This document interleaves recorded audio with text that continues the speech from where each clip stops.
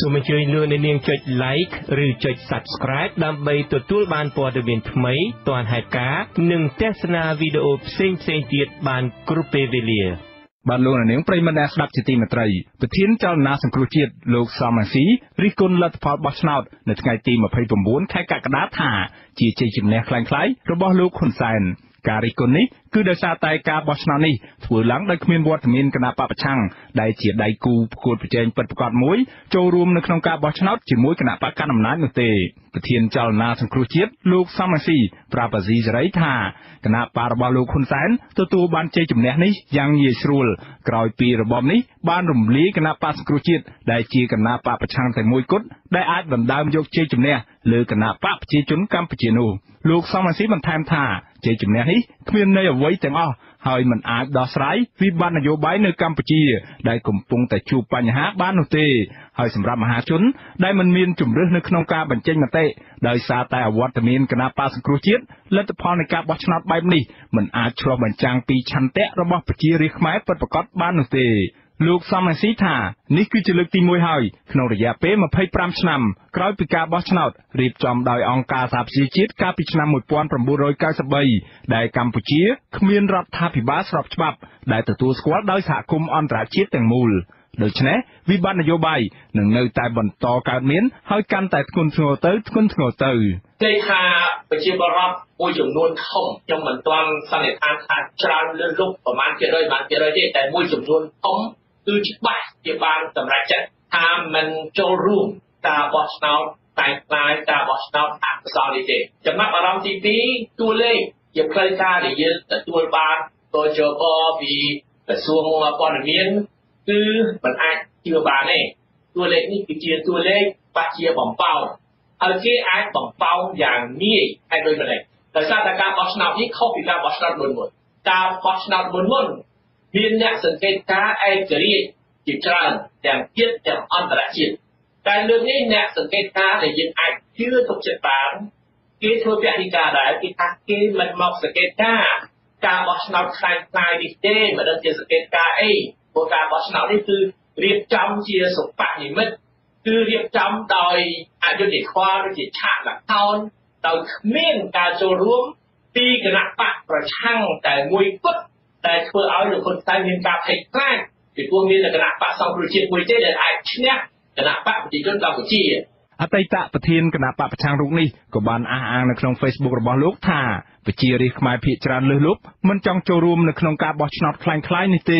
ពីព្រោះមិនអាចជ្រើសរើសគណៈបកដែលម្នាក់ម្នាក់ស្រឡាញ់ក្នុងចិត្តចំណែកអត្រានៃអ្នកចូលរួមបោះឆ្នោតដែលអាជ្ញាធរប្រកាសមិនបានឆ្លុះបញ្ចាំងពីបំណងពិតប្រាកដ នៃអ្នកបោះឆ្នោតនោះទេ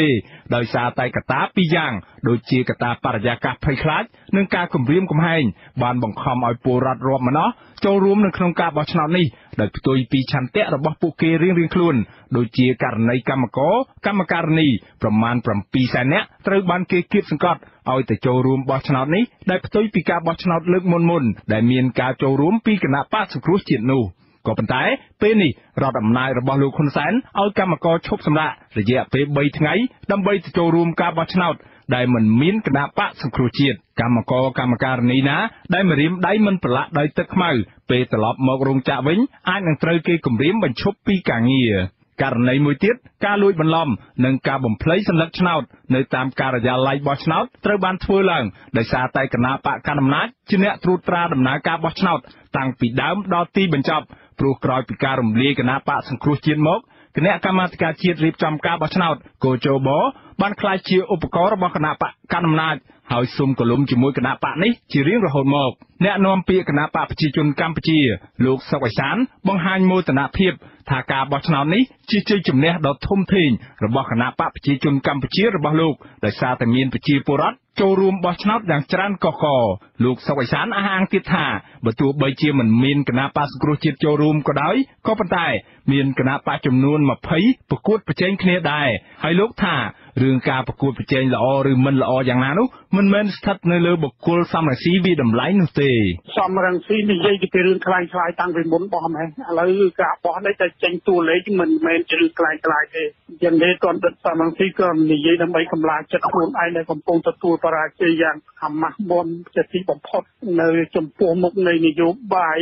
យុទ្ធនាការមករៀមដៃស្អាតរបស់គាត់នឹងបរាជ័យហើយបើមិនបរាជ័យត្រឹមតែគាត់ខ្លួនឯងជាពួកក្រមទានខុសច្បាប់ក្រៅប្រទេសទេបរាជ័យទាំងមេខ្លោងគាត់ទៀតផងបាទទោះជាយ៉ាងណាការបោះឆ្នោតនេះមានអង្គការឯករាជ្យមួយចំនួនដែលមានឯកទេសខាងការបោះឆ្នោតនិងធ្លាប់បានចូលរួមសង្កេតការបោះឆ្នោតជាច្រើនអាណត្តិរួចមកហើយនោះមានដូចជាអង្គការ Confrel អង្គការ Netflix និងអង្គការដំឡាភិបកម្ពុជា និងអង្គការឯករាជ្យជាច្រើនទៀតដែលធ្លាប់ជាសមាជិកបន្ទប់ស្ថានភាពមិនបានចូលរួមសង្កេតការការបោះឆ្នោតនេះឡើយដោយសារតែបរិយាកាសនយោបាយមិនល្អគណៈក្រមប្រទេសប្រជាធិបតេយ្យលោកខាងលិចដូចជាសហរដ្ឋអាមេរិកសហភាពអឺរ៉ុបនិងប្រទេសជប៉ុនជាដើមក៏មិនបានបញ្ជូនអ្នកសង្កេតការរបស់ខ្លួនទៅឃ្លាំមើលដំណើរការនៃការបោះឆ្នោតនេះដែរដោយសារតែពួកគេថាការបោះឆ្នោតនេះមិនស្របតាមគោលការណ៍ប្រជាធិបតេយ្យនោះទេ បាទលោកនាងប្រិមនអ្នកស្ដាប់ជាទីមេត្រីពលរដ្ឋរស់នៅឃុំជ្រោយតាកែវស្រុកកោះធំខេត្តកណ្ដាលបង្ហាញការភ្ញាក់ផ្អើលនៅពេលដែលកោចបប្រកាសលទ្ធផលនៃចំនួនអ្នកចេញទៅបោះឆ្នោតថាមានចំនួនច្រើនក្នុងគ្រាដែលការិយាល័យបោះឆ្នោតនីមួយៗនៅឃុំជ្រោយតាកែវស្រុកកោះធំពុំសូវមានអ្នកចេញទៅបោះឆ្នោតនោះឡើយហើយសិលឹកឆ្នោតមិនបានការក៏មានចំនួនច្រើននោះដែរបាទពីរដ្ឋធានី Washington អ្នកស្រីសូជីវីរីកាព័ត៌មាននេះពលរដ្ឋរស់នៅភូមិទួលសង្កែឃុំជ្រោយបន្ទាយសង្កេតឃើញថា ស្ទើរតែគ្រប់ការិយាល័យនៅឃុំជ្រោយបន្ទាយស្ទើរតែគ្មានអ្នកទៅបោះឆ្នោតក្នុងនោះមានការិយាល័យមួយស្ងាត់ដោយចោលលុយសេះឬពុំសូវមានអ្នកទៅបោះឆ្នោតនិងមានសញ្ញាឆ្នោតមិនបានការជាច្រើនសញ្ញាឆ្នោតមិនបានការភាកច្រើន ជាសញ្ញាឆ្នោតស្អាតពុំមានគំនុះនិងសញ្ញាឆ្នោតខ្លះទៀតត្រូវគូសចោលពលរដ្ឋម្នាក់ថ្លែងមិនបញ្ចេញឈ្មោះឲ្យដឹងនៅថ្ងៃទី29ខែកក្កដាថាកញ្ញាបានចំណាយពេលពេញមួយថ្ងៃដើម្បីតាមដានព្រឹត្តិការណ៍បោះឆ្នោតអាណត្តិទី6នេះ ក្នុងនាមជាពលរដ្ឋកញ្ញាសង្កេតឃើញថា នៅការិយាល័យចំនួន4កន្លែងនៅក្នុងឃុំជ្រួយបន្ទាយពុំសូវមានអ្នកទៅបោះឆ្នោតនោះទេនិងមានសញ្ញាឆ្នោតមិនបានការជាច្រើនកញ្ញាសម្រេចចិត្តចុះតាមដានស្ថានភាពបោះឆ្នោតបែបនេះដើម្បីចង់ឃើញផ្ទាល់ភ្នែកនិងដើម្បីផ្ទៀងផ្ទាត់ទិន្នន័យរបស់គោជប កញ្ញារកឃើញថានៅតាមមណ្ឌលនីមួយៗមានសញ្ញាឆ្នោតមិនបានការជាច្រើនបើប្រៀបធៀបកាលពីបោះឆ្នោតឆ្នាំ2017អត់ទៅមានមនុស្សទៅបោះឆ្នោតច្រើននេះព្រៃច្រើនក៏ទៅតែពេលព្រឹកហើយពេលថ្ងៃម្ដងម៉ោង10ជាងគឺអស់មនុស្សលីងមកអត់មានមនុស្សទៅបោះទេពី3ម៉ោងឃើញមានមនុស្សមួយទៅបោះអញ្ចឹងហើយដល់ពេលរាប់ស្លឹកឆ្នោតគឺអ្វីដែលខ្ញុំកត់សម្គាល់គឺស្លឹកឆ្នោតបានការច្រើនមែនតើនៅក្នុងការិយាល័យហ្នឹងខ្ញុំសង្កេតមើលឃើញភាគច្រើនស្លឹកឆ្នោត អត់ស្គូសអត់គូសច្រើនហើយនឹងមានខ្លះទៀតគូសទាំងអស់ហើយនឹងមានចំនួនមួយចំនួនទូចទៀតគឺគាត់គូសខ្វែងតែអត់គូសច្រើនជាងគឺស្លឹកឆ្នោតស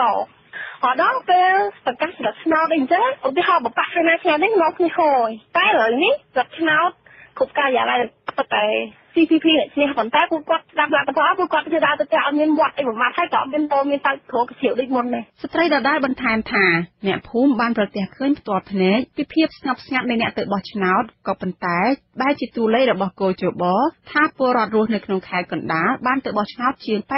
84%កញ្ញាថាកញ្ញាគ្មានជំនឿលើទិន្នន័យរបស់គោជបនោះទេព្រោះគ្មានអ្នកសង្កេតការជាតិនិងអន្តរជាតិដែលអាចទុកចិត្តបានថាខ្ញុំមិនព្រួយបារម្ភទេព្រោះអីខ្ញុំដឹងថាគាត់បំផង់ទូលេមិនទាន់នឹងអីហ្នឹងគ្រាន់តែមកខែជាហ្នឹងគ្រប់កាយាយទាំងអស់មានគេខុសគេអីគេនិយាយគ្រប់គ្នាថាអត់ទៅមានមនុស្សទៅបោះឆ្នោតទេតូចយោអានចេញពីកាហើយថាមានចំនួនមនុស្សទៅបោះឆ្នោតឡើងប៉ុណ្នេះភាគរយប៉ុណ្នោះភាគរយឡើងខុសពីអ្វីដែលពួកយើងសង្កេតឃើញចឹងណាគោលជំបបានប្រកាសថាពលរដ្ឋរស់នៅខេត្តកណ្ដាលបានទៅបោះឆ្នោតមានចំនួនជាង84% ថយចុះ9កណ្ដោសញ្ញា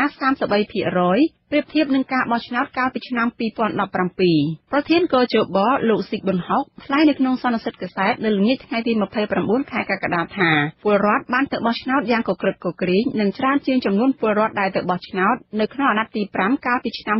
2013លោកថាកាលពីប្រកាសតួលេខអ្នកទៅបោះឆ្នោតរួចកោជបនឹងចាំមើលពីជំហរសហគមន៍អន្តរជាតិថាតើបន្តធ្វើសកម្មភាពផ្ទុយពីឆន្ទៈរបស់ប្រជាពលរដ្ឋខ្មែរដែរឬទេខ្មែរគេស្រឡាញ់លទ្ធិជាតិបតេយ្យទេដែលអស់លោកថាជាខ្លាំងខ្លាយសត្វតែគេបញ្ចូលរូបកក្រឹកកក្រែងលើស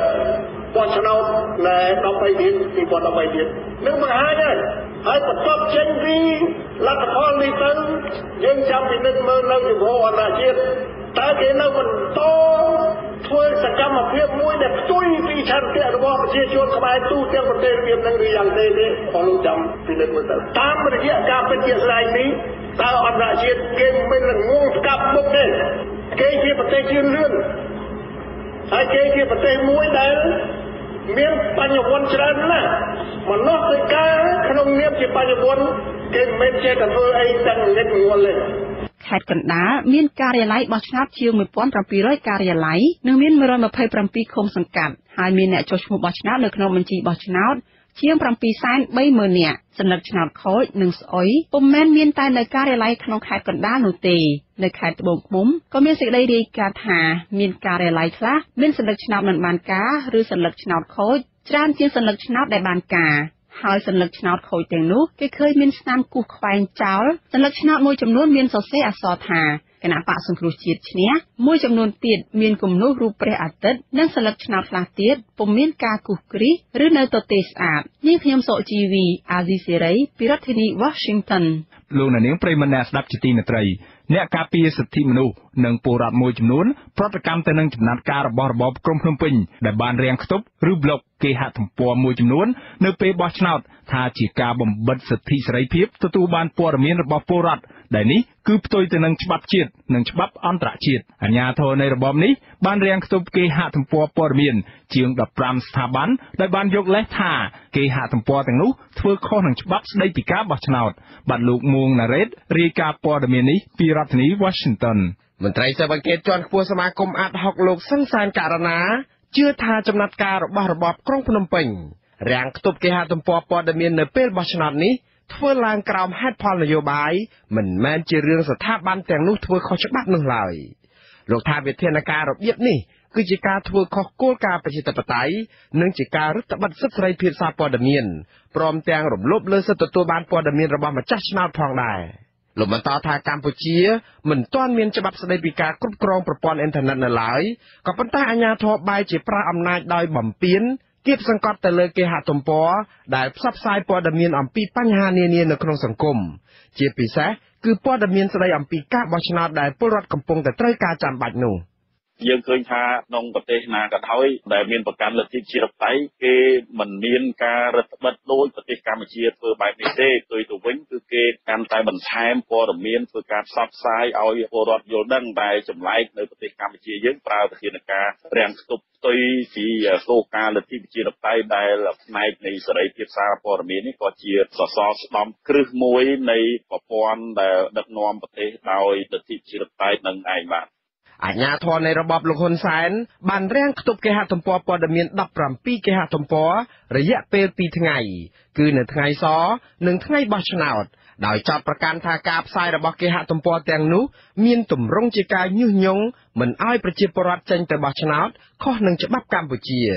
គេហទំព័រព័ត៌មានដែលត្រូវបានរាំងខ្ទប់ទាំងនោះមានដូចជាគេហទំព័រវិទ្យុអាស៊ីសេរី RFA វិទ្យុសំឡេងសហរដ្ឋអាមេរិក VOA វិទ្យុសំឡេងប្រជាធិបតេយ្យ VOD និងស្ថាប័នមួយចំនួនទៀតរបបក្រុងភ្នំពេញបានប្រើប្រាស់ប្រកាសអន្តរក្រសួងស្តីពីការគ្រប់គ្រងការផ្សាយតាមគេហទំព័រនិងបណ្ដាញសង្គមជាមូលដ្ឋាននៃចំណាត់ការរាំងខ្ទប់នេះសកម្មជនសង្គមនិងបរិស្ថានអ្នកនាងលីនកឹមសរយល់ឃើញថារបបដឹកនាំកម្ពុជាបច្ចុប្បន្ន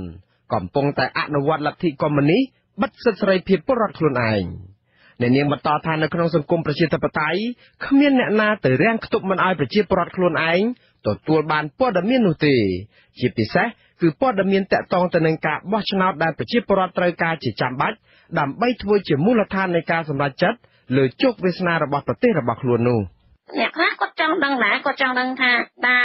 ទស្សនភាពឬក៏សកម្មភាពនៃការបោះឆ្នោតនឹងវាយ៉ាងម៉េចហើយអីហើយអញ្ចឹងណាហើយសួរថានៅពេលដែលគាត់បិទហេតុអីក៏គាត់មិនបិទសារព័ត៌មាន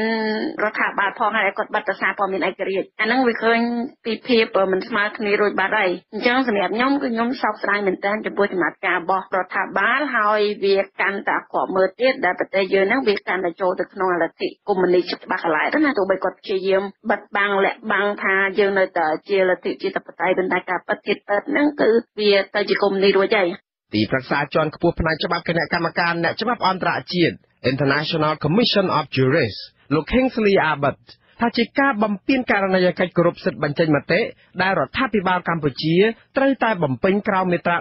19នៃអនុសញ្ញាអន្តរជាតិស្តីពីសិទ្ធិពលរដ្ឋនិងសិទ្ធិនយោបាយដែលកម្ពុជាជារដ្ឋសមាជិក លោកបន្ថែមថាបទបញ្ជាឲ្យគេបិទគេហទំព័រទាំងនោះគឺជាឧទាហរណ៍ចុងក្រោយបំផុតអំពីការរំលោភសិទ្ធិមនុស្សជាប្រព័ន្ធនិងដោយចេតនាហើយវាយប្រហារទៅលើនីតិរដ្ឋនៅមុនការបោះឆ្នោតដែលច្បាស់ជាការបោះឆ្នោតមិនស្របច្បាប់ដែលសហគមន៍អន្តរជាតិត្រូវតែដឹងឲ្យច្បាស់ពលរដ្ឋម្នាក់សូមមិនបញ្ចេញឈ្មោះថ្លែងថាលោកកាន់តែខកចិត្តខ្លាំងឡើងនឹងរបៀបដឹកនាំរបស់អាជ្ញាធរសពថ្ងៃដែលបានដាក់ចេញនូវវិធានការបំបិទសិទ្ធិសេរីភាពពលរដ្ឋខ្លួនឯងជាបន្តបន្ទាប់យ៉ាងដូចនេះ លោកបន្តថាការរាំងខ្ទប់គេហទំព័រព័ត៌មាននៅពេលបោះឆ្នោតដូចនេះបង្ហាញឲ្យឃើញកាន់តែច្បាស់ពីចេតនារបស់អាជ្ញាធរដែលមិនចង់ឲ្យប្រជាពលរដ្ឋរបស់ខ្លួនបានទទួលព័ត៌មានពិតនោះឡើយផ្ទុយទៅវិញគឺអាជ្ញាធរចង់ឲ្យប្រជាពលរដ្ឋឮតែព័ត៌មានមួយខាងដែលគ្រប់គ្រងក្រុមអ្នកកាន់អំណាចប៉ុណ្ណោះអាចចំណុចអាក្រក់ដែលពួកគាត់ធ្វើនឹងគឺគាត់បិទមិនឲ្យបរដ្ឋឃើញជាក់ស្ដែងមួយរយៈកន្លងមកយើងឃើញទូរទស្សន៍ ពួកគាត់អត់មានប្រជាពលរដ្ឋមានបញ្ហាអីផ្សេងផ្សេងអីមិនដែលគាត់ចុះមក live ផ្ទាល់ចុះធ្វើចាក់ផ្សាយផ្ទាល់អត់ទេអត់មានទេមានវិទ្យុឯករាជ្យទេដែលគាត់អាចផ្សាយទាំងអស់ទាំងរដ្ឋាភិបាលទាំងមិនរដ្ឋាភិបាលអីគឺផ្សាយជាទូទៅអញ្ចឹងទៅពលរដ្ឋក៏ជួយទៅស្ដាប់ក៏ឥឡូវអ្វីដែលពលរដ្ឋជួយទៅស្ដាប់គេបាត់ហើយឲ្យដឹងតែមកជាជាងមកជ្រុងអញ្ចឹងទៅអាហ្នឹងមានន័យថាគាត់មានចេតនាគ្រប់គ្រងបិទបាំងព័ត៌មានពិតដើម្បីគាត់ងាយស្រួលគ្រប់គ្រងបន្តកាន់កាប់បន្តរទៀតការរាំងខ្ទប់គេហទំព័រព័ត៌មាននេះ គឺជាវិធានការចុងក្រោយគេរបស់របបលោកហ៊ុនសែនដែលបានអនុវត្តបន្ទាប់ពីការបង្ក្រាបឥតឈប់ឈរទៅលើស្ថាប័នព័ត៌មានឯករាជ្យនិងសម្លេងប្រឆាំងកាលពីពេលកន្លងទៅនោះអង្គការអ្នករាយការណ៍ព័ត៌មានគ្មានព្រំដែន Reporters Without Borders អះអាងថាការបង្ក្រាបលើសារព័ត៌មានឯករាជ្យនិងសិទ្ធិសេរីភាពលើប្រព័ន្ធអ៊ីនធឺណិតនេះគឺជាការបំបិតសម្លេងរិះគន់ដើម្បីធានាថារបបលោកហ៊ុនសែននឹងបន្តឈ្នះឆ្នោតក្តាប់ក្តាប់អំណាចតទៅទៀត។ ស្របពេលដែលរបបនេះបានកំទេចបកសង្គ្រោះជាតិដែលជាបកប្រឆាំងធំជាងគេរួចទៅហើយនោះខ្ញុំបាទមួងណារ៉េតអាស៊ីសេរីរដ្ឋធានី Washington បាទលោកនាងប្រិមម្នាក់ស្ដាប់ជាទីមេត្រីពលករខ្មែរនៅប្រទេសកូរ៉េខាងត្បូងបាននាំគ្នាដង្ហែក្បួនកាន់ទុកប្រជាធិបតេយ្យកម្ពុជាដែលពួកគេយល់ថា បានស្លាប់បាត់ទៅហើយដោយសារតែរបបលោកហ៊ុនសែនបានរៀបចំការបោះឆ្នោតคล้ายៗកាលពីថ្ងៃទី29ខែកក្កដាម្សិលមិញនេះពិធីដង្ហែមឈូសដាក់សាសពប្រជាធិបតេយ្យកម្ពុជានៅឯប្រទេសកូរ៉េបានប្រព្រឹត្តទៅយ៉ាងកក្រើកនៅក្នុងទីក្រុងខ្វាងជូធំដោយមានពលករខ្មែររាប់រយនាក់ចូលរួមនៅព្រឹកថ្ងៃទី29ខែកក្កដា ពលករបានចោទថាលោកហ៊ុនសែនគឺជាឃាតករសម្លាប់ប្រជាធិបតេយ្យនៅកម្ពុជា ពួកគេបានលើកបដាដែលមានរូបលោកហ៊ុនសែនប្រឡាក់ឈាមហើយបានស្រែកឲ្យលោកហ៊ុនសែនចោះចេញពីអំណាចនិងស្រែកប្រឆាំងដាច់ខាតចំពោះការបោះឆ្នោតបែបខ្លាំងៗនេះ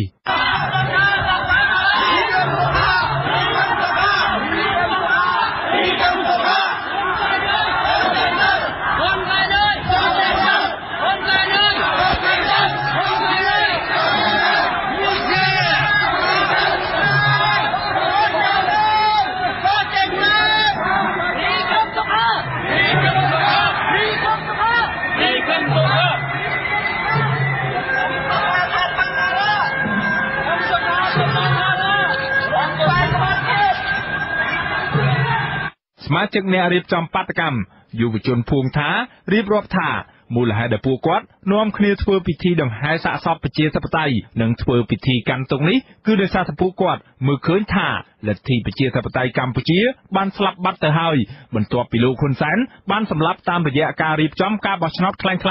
គ្មានសេរីយុត្តិធម៌និងមិនត្រឹមត្រូវនោះទេបាទដោយសារតែរបបលោកហ៊ុនសែនបានរៀបចំការបោះឆ្នោតនៅថ្ងៃនេះហើយថ្ងៃបោះឆ្នោតនេះ គឺបង្ហាញយ៉ាងច្បាស់ថាឆន្ទៈរបស់ប្រជាពលរដ្ឋហ្នឹងត្រូវបានរំលាយហើយប្រជាធិបតេយ្យគឺកាត់ឡើងពីប្រជាពលរដ្ឋខ្មែរប្រជាពលរដ្ឋខ្មែរបានគ្រប់គ្រងទៅលើរឿងគណៈបកប្រជាជាតិដែលរបបលោកហ៊ុនសែនបានរំលាយចោលដូច្នេះគឺយើងខ្ញុំទាំងអស់គ្នាគិតថាប្រជាធិបតេយ្យនៅប្រទេសកម្ពុជាគឺមិនមានទេគឺយើងខ្ញុំទាំងអស់គ្នាក៏មិនមានការដោះលែងលោកតុងសុខាក៏ដូចជាបើកឲ្យមានគណៈបកប្រជាជាតិចូលរួមការបោះឆ្នោតនៅថ្ងៃនេះក៏ដូចជាឲ្យសូមឲ្យលោកហ៊ុនសែននឹងគិតពិចារណានឹងពជាពេល នេះការបោះឆ្នោតនេះដើម្បីស្វែងរកដំណោះស្រាយរួមមួយសិនទៅយើង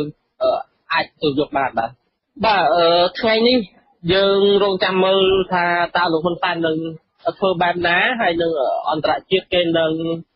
ស្កល់ទោសឬក៏គ្រប់គ្រងរបបលោកហ៊ុនសែនប្រសិនបើអន្តរជាតិគេនៅតែបន្តគ្រប់គ្រងរបបប្រជាការរបស់លោកហ៊ុនសែនដែលរៀបចំ ការបោះឆ្នោតនៅថ្ងៃនេះពួកយើងនឹងធ្វើបាតកម្មបន្តទៀតនៅមុខស្ថានទូតណាដែលគ្រប់គ្រងនៅមុខស្ថានទូតណាដែលគ្រប់គ្រងការបោះឆ្នោតរបស់លោកហ៊ុនសែននៅថ្ងៃនេះបាទបាតកោម្នាក់ទៀតអះអាងថា ពួកគេនឹងតវ៉ាប្រឆាំងដល់ទីបញ្ចប់ដើម្បីសង្គ្រោះប្រជាធិបតេយ្យនៅកម្ពុជាដូច្នេះពួកយើងទាំងអស់គ្នាប្រឆាំងដាច់ខាតគឺមិនទទួលស្គាល់នៅការបោះឆ្នោតនេះទេហើយ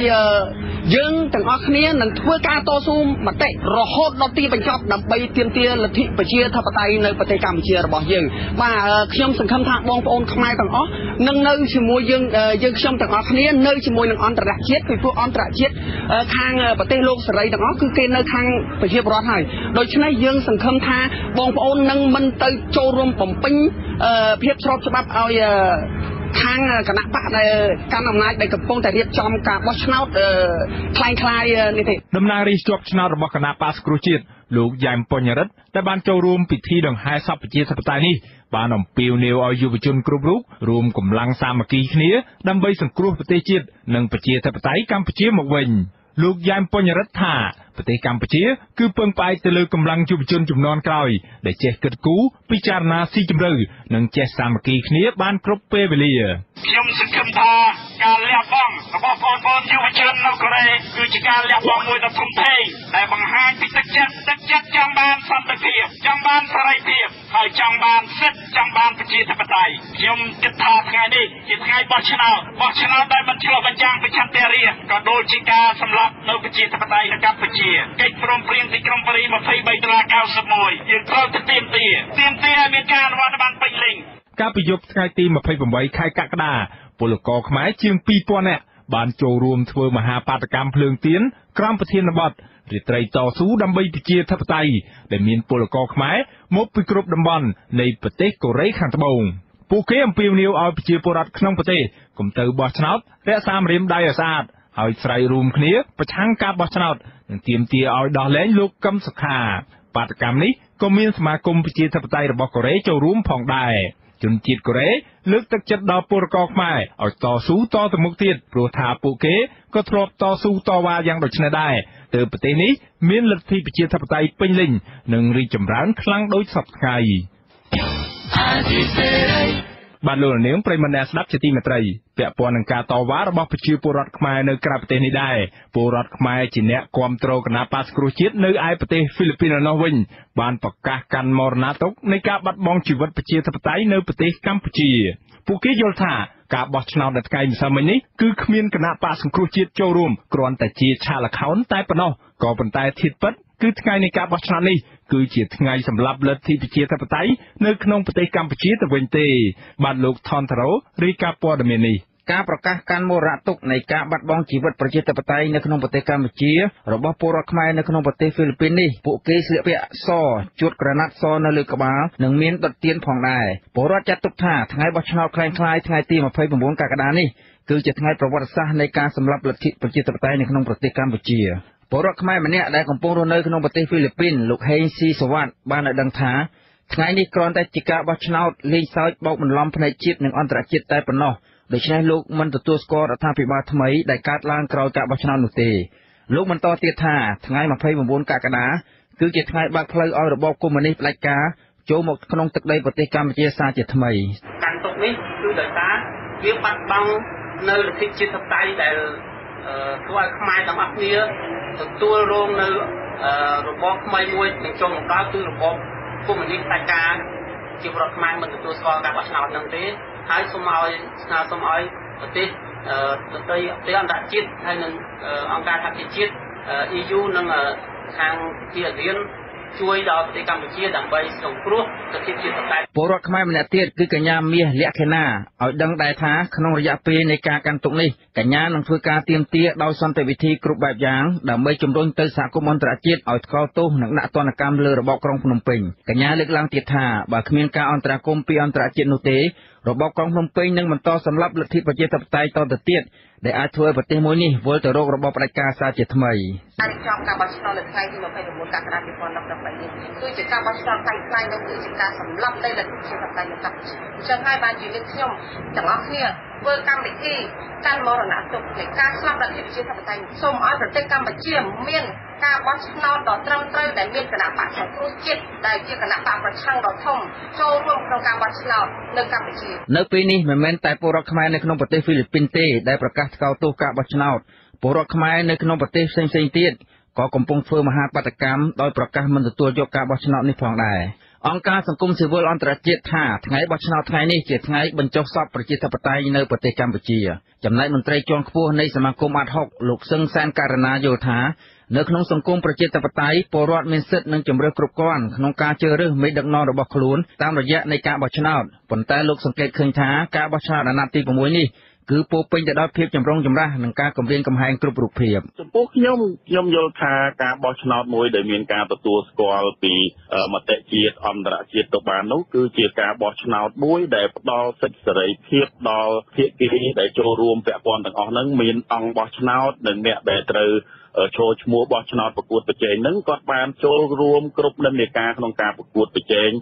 ដោយស្មារតីដោយសេរីចំណែកការបង្ហាញឆន្ទៈរបស់ពលរដ្ឋខ្មែរនៅក្នុងប្រទេសហ្វីលីពីនចំពោះស្ថានភាពនយោបាយនៅកម្ពុជា គឺជាការតវ៉ាលើកទី2ហើយកាលមុនថ្ងៃបោះឆ្នោតពួកគេបាននាំគ្នាទៅដាក់ញត្តិនៅទីស្នាក់ការអង្គការសហប្រជាជាតិប្រចាំប្រទេសនេះក្នុងទីក្រុងម៉ានីលដោយស្នើទៅអង្គការសហប្រជាជាតិកុំឲ្យទទួលស្គាល់រដ្ឋាភិបាលថ្មីដែលកាត់ឡើងក្រោយការបោះឆ្នោតខ្ញុំបាទថនថារ៉ូអាស៊ីសេរីពីរដ្ឋធានី Washington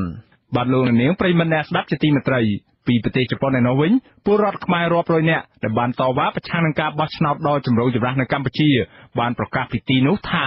ពួកគេនឹងមិនទទួលស្គាល់លទ្ធផលនៃការបោះឆ្នោតនេះទេអ្នកវិភាគយល់ថាចលនាតស៊ូប្រឆាំងនឹងការបោះឆ្នោតដ៏កក្រើកនេះអាចនឹងធ្វើឲ្យមានការពិបាកទទួលស្គាល់រដ្ឋាភិបាលថ្មីដែលកើតឡើងក្រោយពីការបោះឆ្នោតនេះ បាទសូមស្ដាប់សេចក្តីរាយការណ៍មួយទៀតរបស់អ្នកស្រីសូជីវីជំវិញព័ត៌មាននេះប្រជាពលរដ្ឋខ្មែរដែលកំពុងរស់នៅនិងធ្វើការនៅក្នុងប្រទេសជប៉ុនបានចេញធ្វើបាតុកម្មដ៏កក្រើកនៅក្នុងទីក្រុងតូក្យូដើម្បីប្រឆាំងនឹងការបោះឆ្នោតនៅកម្ពុជាបាតុកររាប់រយនាក់នាំគ្នាស្រែកខ្លាំងៗឲ្យលោកហ៊ុនសែនចុះចេញពីអំណាចនិងប្រកាសមិនទទួលស្គាល់លទ្ធផលឆ្នោតដាច់ខាតហើយបើប្រទេសណាទទួលស្គាល់នោះពួកគេនឹងនាំគ្នាទៅតវ៉ាប្រឆាំងនៅមុខស្ថានទូតនៃប្រទេសនោះតែម្ដងបាតុករម្នាក់រៀបរាប់ដោយភាពក្លាហានថាពួកលោកនឹងបន្តតវ៉ាប្រឆាំងលទ្ធផលឆ្នោតដែលរៀបចំដោយរបបលោកហ៊ុនសែននោះដាច់ខាតដើម្បីរដ្ឋាភិបាលប្រទេសជប៉ុននិងសហគមន៍អន្តរជាតិដទៃទៀតកុំទទួលស្គាល់លទ្ធផលឆ្នោតហើយដាក់ទណ្ឌកម្មលើរបបដែលផ្ដល់ភាពឈឺចាប់ដល់ពលរដ្ឋខ្មែរចំណុចនេះដែរប្រសិនជាលោកហ៊ុនសែនបាននៅតែបន្តណាបន្តរហូតមានន័យថាបោះឆ្នោតនៅបោះឆ្នោតអ្វីក៏គាត់នៅតែធ្វើចាប់ក៏នៅចាប់ចងនៅក៏ចងសម្រាប់ក៏នៅសម្រាប់ខ្ញុំនៅតែតវ៉ាខ្ញុំនៅតែប្រឆាំងរហូតខ្ញុំអត់អត់ធ្វើទេទេហើយថ្ងៃណាមួយខ្ញុំក៏ត្រូវតែចូលទៅក្នុងខ្មែរវិញដែរខ្ញុំនឹងទៅប្រឆាំងរហូតហើយខ្ញុំសូមបង្ហាញចំហខ្ញុំថាខ្ញុំទៅក្រុងខ្មែរវិញ បើចាប់ដាក់គុកគឺខ្ញុំអត់ចង់ឲ្យគាត់អត់ចង់ឲ្យចាប់ដាក់គុកទេបើថាសម្រាប់ខ្ញុំបានសម្រាប់ទៅអូខេខ្ញុំសុខចិត្តស្លាប់មិនខុសគ្នានេះទេបាតកោដែលសុទ្ធតែជាយុវជនដទៃទៀតបានថ្លែងថ្កោលទោសថារបបលោកហ៊ុនសែនកំសាកមិនហ៊ានអនុញ្ញាតឲ្យគណៈបកសង្គ្រោះជាតិចូលរួមប្រកួតប្រជែងការបោះឆ្នោតចូលរួមបដកម្មគឺដើម្បីផ្លាស់ប្ដូររបបផ្ដាច់ការនៅ តស៊ូដើម្បីអនាគតជាតិតស៊ូបញ្ញាដើម្បីការប្រើរបបនេះបានលោកខ្ញុំចូលរួមបដកម្មថ្ងៃនេះចង់ឲ្យការផ្លាស់ប្ដូរហើយនឹងមិនទទួលស្គាល់ដល់ការបោះឆ្នោតរបស់ខ្មែរទេបញ្ញានឹងការបោះឆ្នោតអឺ បើលោកហ៊ុនសែនចាំមិនធ្វើទទួលទេពួកយើងនៅតែមានវិធីនៃការដើម្បីអឺរកវិធីទៅមុខទៀតតែយើងអត់ដឹងថាយើងត្រូវធ្វើអីទេតែយើងនៅនៅស្រុកហ្នឹងយើងមានវិធីយើងមានច្រកក្រុមបាតុករអះអាងថាប្រសិនបើពលរដ្ឋខ្មែរទាំងក្នុងនិងក្រៅប្រទេសពួតដៃសាមគ្គីគ្នាតវ៉ាប្រឆាំងការបោះឆ្នោតជាបន្តបន្ទាប់គឺច្បាស់ណាស់ថារបបលោកហ៊ុនសែននឹងបរាជ័យក្រុមបាតុករទាំងនេះអះអាងថាពួកគេនឹងរៀបចំបាតុកម្មប្រឆាំងការបោះឆ្នោតคล้ายៗនៅកម្ពុជាជាបន្តបន្ទាប់រហូតដល់តែកម្ពុជាមានលទ្ធិប្រជាធិបតេយ្យពេញលេញមូលហេតុទី1គឺពួកខ្ញុំទាំងអស់គ្នាមកចូលបាតកម្មថ្ងៃនេះគឺមិនទទួលស្គាល់នៅការបោះឆ្នោតคล้ายៗរបស់លោកហ៊ុនសែនចា៎ថ្ងៃនេះបានចូលរួមក្នុងថ្ងៃនេះគឺពួកខ្ញុំទាំងអស់គ្នាមកជួយយកការបោះឆ្នោតคล้ายៗរបស់លោកបងលោកហ៊ុនសែនជា ជាមានភាពស្មោះត្រង់មែនហ៊ុនសែនគួរតែដាក់គណៈបកសង្គ្រោះជាតិចូលក្នុងការបោះឆ្នោតហ្នឹងមកពួកខ្ញុំទទួលយកការបោះឆ្នោតរបស់ពួកគាត់ចាពួកខ្ញុំនោះក៏សូមអំពាវនាវទៅដល់អង្គការសហប្រជាជាតិទាំងឡាយដែរមិនកុំឲ្យទទួលស្គាល់នៅការបោះឆ្នោតផ្នែកដែររបស់លោកហ៊ុនសែនហើយនឹងដូចជាប្រទេសចិនឬមួយក៏ប្រទេសផ្សេងទៀតដែលទទួលស្គាល់ការបោះឆ្នោតផ្នែកនេះគឺពួកខ្ញុំមិនទុកចិត្តពួកខ្ញុំនឹងធ្វើបាតកម្មទៅដល់ទូណាតែប្រទេសណាដែល ទទួលស្គាល់ការបោះឆ្នោតផ្នែកនេះទៀតចា៎ប្រប្រជាពលរដ្ឋខ្មែរនៅប្រទេសជប៉ុនបានចេញតវ៉ាចំនួន2ថ្ងៃហើយចាប់ពីថ្ងៃទី28និងថ្ងៃទី29ខែកក្កដាដោយពួកគេបានចំណាយថវិកាផ្ទាល់ខ្លួនមកពីបណ្ដាតំបន់ឆ្ងាយៗនៅក្នុងប្រទេសជប៉ុនសមាជិកក្រុមអ្នកវិភាគវ័យក្មេងលោកបងដែតមើលឃើញថាយុទ្ធនាការចេញតវ៉ាប្រឆាំងការបោះឆ្នោតនៅកម្ពុជាពីសំណាក់ប្រជាពលរដ្ឋខ្មែរនៅក្រៅប្រទេសនេះកាន់តែធ្វើឲ្យសហគមន៍អន្តរជាតិចាប់អារម្មណ៍និងដាក់សម្ពាធលើរបបបច្ចុប្បន្ននេះ។ អញ្ចឹងពេលហ្នឹងប្រជាពលរដ្ឋមានការភ្ញាក់ខ្លួនខ្ញុំគិតថាប្រជាពលរដ្ឋភ្ញាក់ខ្លួនថាអន្តរជាតិគ្រប់គ្រងលទ្ធផលនឹងអាចចេញជាវិជ្ជមានគឺនឹងដាក់បន្ទុកទៅលើរដ្ឋាភិបាលបច្ចុប្បន្ន ទោះចង់ឬមិនចង់ក៏នឹងទទួលបាននៅផលនៅខាងមុខដោយមិនអាចប្រកែកបានព្រោះជាច្បាប់ធម្មជាតិអ្នកឯងខ្លាំងអ្នកឯងកាន់តែខ្លាំងកាន់តែទៀតប្រជាពលរដ្ឋកាន់តែរើពីព្រោះថានេះមិនមែនជាមិនមែនជាការ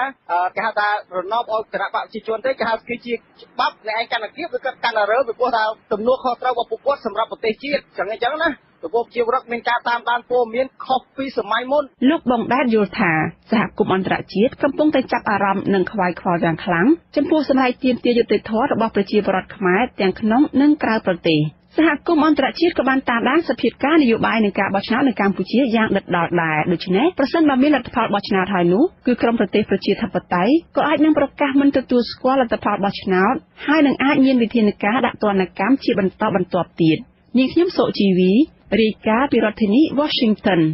លោកនាងកញ្ញាប្រិមនៈស្ដាប់ជាទីមេត្រីលោកនាងទើបបានស្ដាប់ព័ត៌មានប្រចាំថ្ងៃរបស់ Visual Asia សេរីដែលរៀបចំជូនដោយខ្ញុំបាទមានរិទ្ធពីរដ្ឋធានី Washington បាទជាបន្តទៅទៀតនេះសូមអញ្ជើញលោកនាងរងចាំស្ដាប់សេចក្តីរាយការណ៍ពិស្ដារផ្សេងទៀតនៃការផ្សាយរបស់យើងខ្ញុំនាពេលបន្តិចទៀតនេះ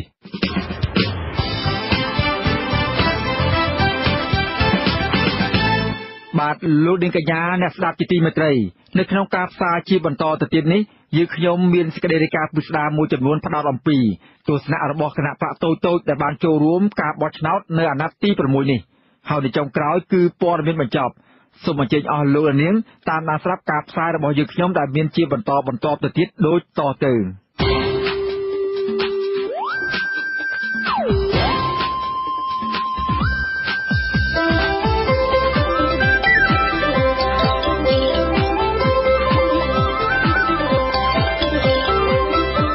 សេចក្តីរាយការណ៍ពិស្ដា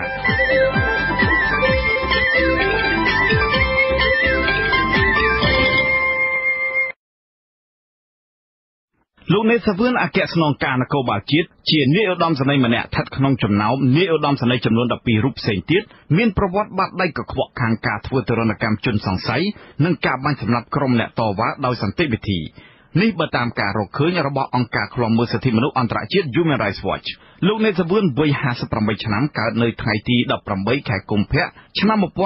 1960លោកជាមន្ត្រីនគរបាលដំបងគេបង្អស់ក្នុងរបបសាធារណរដ្ឋប្រជាមានិតខ្មែរហើយក្រោយមកលោកបានក្លាយជាអ្នកសួរចម្លើយជាន់ខ្ពស់មួយរូបនៃនគរបាលក្រុងភ្នំពេញ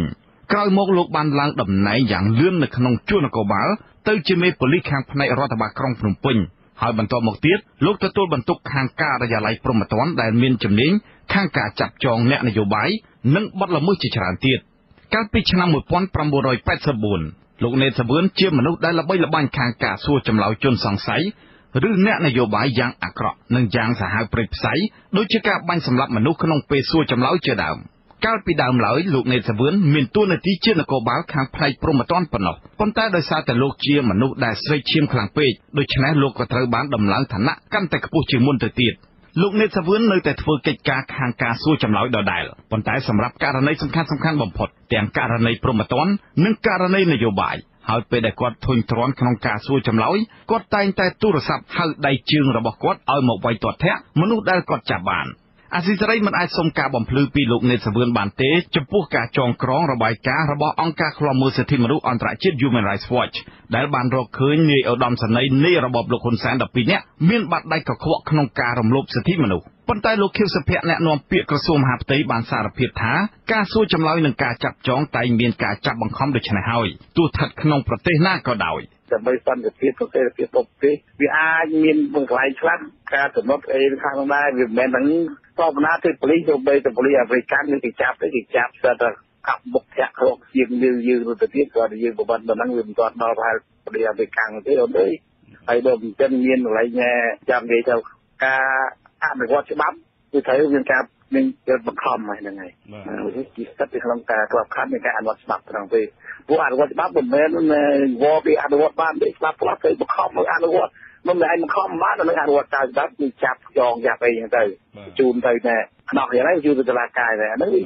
បាក់ដៃបាក់ដៃណាបាទហើយយកទាំងអស់ហ្នឹងបងបលាជាបលាជាមកទាំងអស់ហ្នឹងតែដល់យើង FBI BI បលាជាទៅដូចគ្នានៅតាមរបៀបហ្នឹង FBI បលាជាយើងពីនៅក្នុងដែលតកលោកដាក់ទៅ FBI ដែរតានឹងនេះពិបាកអានេះជារឿងធម្មតាទេតែអាដាមគាត់អត់យល់រឿងហ្នឹង ទោះជាយ៉ាងណាក៏ដោយលោក Brad Adams នាយកប្រតិបត្តិទទួលបន្ទុកកិច្ចការតំបន់អាស៊ីរបស់អង្គការឃ្លាំមើលសិទ្ធិមនុស្សអន្តរជាតិ Human Rights Watch មានប្រសាសន៍ថាលោកខៀវសុភ័ក្រអាចច្រឡំកិច្ចការរបស់ FBI និង CIA លោកបន្តថាភ្នាក់ងារ FBI របស់អាមេរិកពុំមានជាប់ពាក់ព័ន្ធទៅនឹងការធ្វើទរណកម្មលើអ្នកទោសជាលក្ខណៈប្រព័ន្ធនោះទេប៉ុន្តែមានតែ CIA ប៉ុណ្ណោះដែលមានជាប់ពាក់ព័ន្ធទៅនឹងការធ្វើទរណកម្មនៅក្រៅការវាយប្រហារដោយអំពើភេរវកម្ម កាលពីថ្ងៃទី11ខែកញ្ញាឆ្នាំ2001នៅក្រោយសង្គ្រាមនៅប្រទេសអ៊ីរ៉ាក់រួចមកលោកបន្តថា Human Rights Watch តែងអំពាវនាវនិងជំរុញជាញឹកញាប់ឲ្យមានការស៊ើបអង្កេតទៅលើលោកប្រធានាធិបតី George W Bush លោកអនុប្រធានាធិបតី Dick Cheney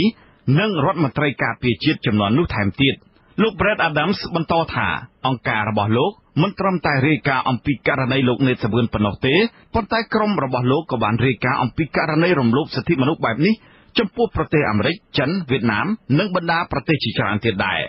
លោកបន្តថាការសួរចម្លើយអ្នកទោសឬជនសង្ស័យដោយការប្រើអំពើហិង្សាឬអំពើទរណកម្មណាមួយវាគឺជាបទឧក្រិដ្ឋហើយជាក់ស្ដែងករណីលោកនេតសាវឿនមិនត្រូវបានសមត្ថកិច្ចបើកការស៊ើបអង្កេតនោះឡើយ I don't see Q Sapir. Where is Q Sapir in investigating ខ្ញុំមិនដែលឃើញលោកខៀវសុភ័ក្រនឹងបើកការស៊ើបអង្កេតមន្ត្រីមានអំណាចរបស់រដ្ឋាភិបាលដែលប្រព្រឹត្តអំពើអាក្រក់ ឬក៏ក្រសួងមហាផ្ទៃបើកការស៊ើបអង្កេតស្អីនោះទេឯណាទៅដែលជាការស៊ើបអង្កេតរបស់ក្រសួងមហាផ្ទៃខ្ញុំមិនដែលឃើញមានការស៊ើបអង្កេតផងហ្នឹងប្រសិនបើករណីដោយលោកនេតសាវឿនហ្នឹងកើតឡើងនៅសហរដ្ឋអាមេរិកវិញគាត់នឹងត្រូវអស់តំណែងគាត់នឹងត្រូវចាប់ខ្លួនហើយត្រូវចូលគុកដល់យូរឆ្នាំថែមទៀតផងរហូតមកទល់ពេលនេះពុំមានមន្ត្រីអង្គការសង្គមស៊ីវិលក្នុងស្រុកណាម្នាក់ហ៊ានធ្វើសេចក្តីអត្ថាធិប្បាយ លើរបាយការណ៍របស់អង្គការឃ្លាំមើលសិទ្ធិមនុស្សអន្តរជាតិ Human Rights Watch ករណីនាយឧត្តមសេនីយ៍12រូបដែលមានបាតដៃកខ្វក់ខាងការរំលោភសិទ្ធិមនុស្សធ្ងន់ធ្ងរនោះទេរបាយការណ៍នេះបានឲ្យដឹងថានៅអំឡុងឆ្នាំ1991ដល់ឆ្នាំ1993លោកនេតសាវឿនត្រូវបានដំឡើងតំណែងជាមន្ត្រីនគរបាលជាន់ខ្ពស់ក្នុងជួរកម្លាំងនគរបាលក្រុងភ្នំពេញដែលមានតួនាទីប្រហាក់ប្រហែលនឹងស្នងការនគរបាលដែរ ក្រោយមកលោកក៏បានរៀបការជាមួយអ្នកស្រីហ៊ុនកំលេងកូនស្រីរបស់លោកហ៊ុនណេងអភិបាលខេត្តកំពង់ចាមនិងជាបងប្រុសបង្កើតរបស់លោកហ៊ុនសែន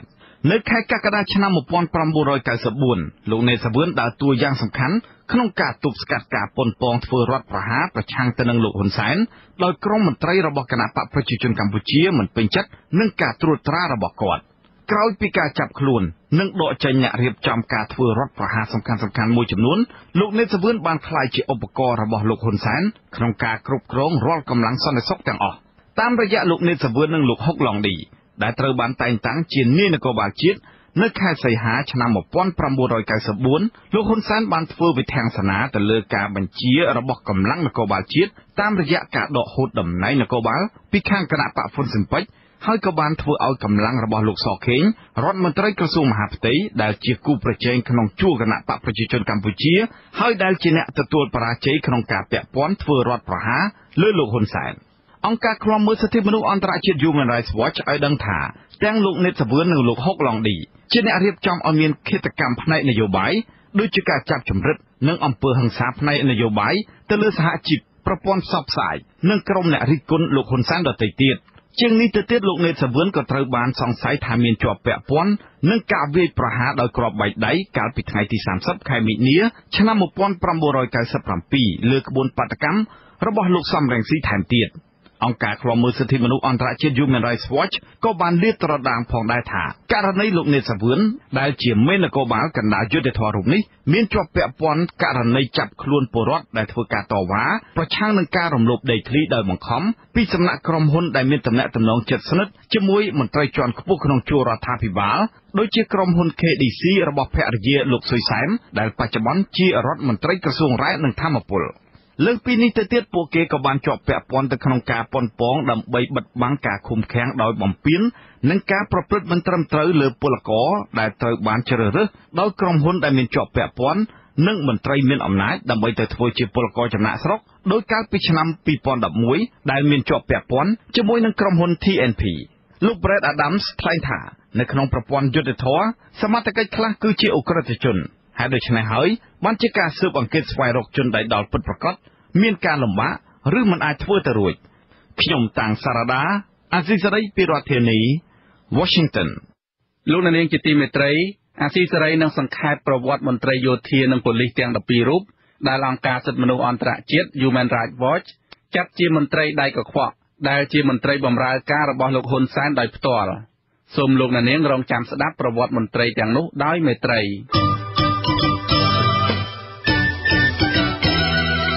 លោកនាងកញ្ញាអ្នកស្ដាប់ជាទីមេត្រី19ឆ្នាំមុនគឺនៅថ្ងៃទី13ខែកក្កដាឆ្នាំ1999នេតការីរបាំព្រះរាជទ្រព្យដ៏ល្បីល្បាញមួយរូបគឺអ្នកស្រីពិសិដ្ឋពីលីកាបានបាត់បង់ជីវិតបន្ទាប់ពីឃាតករបានបាញ់ទៅលើអ្នកស្រីចំនួន3គ្រាប់នៅគ្រាដែលអ្នកស្រីកំពុងចូលហាងលក់កង់មួយកន្លែងនៅក្បែរផ្សារអូរស័យក្រុងភ្នំពេញ3ខែក្រោយមកទស្សនាវដ្តីបារាំងមួយឈ្មោះ Express បានចុះផ្សាយដោយផ្អែកលើភស្តុតាងមួយចំនួន ថាគឺភរិយារបស់លោកនាយករដ្ឋមន្ត្រីហ៊ុនសែនគឺអ្នកស្រីប៊ុនរ៉ានីហ៊ុនសែនតែម្ដងជាអ្នកនៅពីក្រោយការបញ្ជាឲ្យបានសម្លាប់អ្នកស្រីពិសិដ្ឋពីលីកាដោយសារភ្លើងប្រច័ណ្ឌស្នេហាត្រីកោណតើរឿងរ៉ាវនោះមានដំណើរដើមតងយ៉ាងណា លោកជុនច័ន្ទបុតមានសេចក្តីរាយការណ៍ជូនលោកអ្នកនាងដូចតទៅខែកក្កដាអាចចាត់ទុកថាជាខែមួយដែលមានព្រឹត្តិការណ៍បាញ់សម្លាប់ជនល្បីឈ្មោះនៅកម្ពុជាគួរឲ្យកត់សម្គាល់ លោកហូសុកអតីតរដ្ឋលេខាធិការក្រសួងមហាផ្ទៃនិងមន្ត្រីមួយចំនួនរបស់គណៈបកហ្វុនស៊ិនពេជ្រដូចជាលោកចៅសម្បត្តិហៅងើលោកគ្រូយឿមជាដើមត្រូវបានគេបាញ់សម្លាប់ក្នុងអំឡុងពេលរដ្ឋប្រហារកាលពីថ្ងៃទី5-6ខែកក្កដាឆ្នាំ1997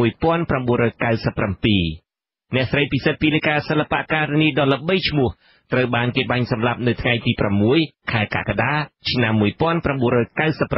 1999 លោកបណ្ឌិតកែមលីអ្នកវិភាគដ៏ល្បីល្បាញត្រូវគេបាញ់សម្លាប់នៅថ្ងៃទី10ខែកក្កដាឆ្នាំ2016ពួកគាត់ទាំងនោះត្រូវមហាជនគោរពស្រឡាញ់ហើយចាត់ទុកមរណភាពរបស់ពួកគាត់ថាជាការបាត់បង់ធនធានជាតិដ៏កម្រទោះបីជាពួកគាត់ត្រូវគេបាញ់សម្លាប់ខ្លះអស់រយៈពេល21ឆ្នាំខ្លះ19ឆ្នាំនិងខ្លះទៀត2ឆ្នាំទៅហើយក្តីក៏អាជ្ញាធរនៅតែមិនទាន់វែកមុខរកឃាតករពិត ដើម្បីផ្ដល់យុត្តិធម៌ដល់ពួកគាត់និងគ្រួសារនៅឡើយ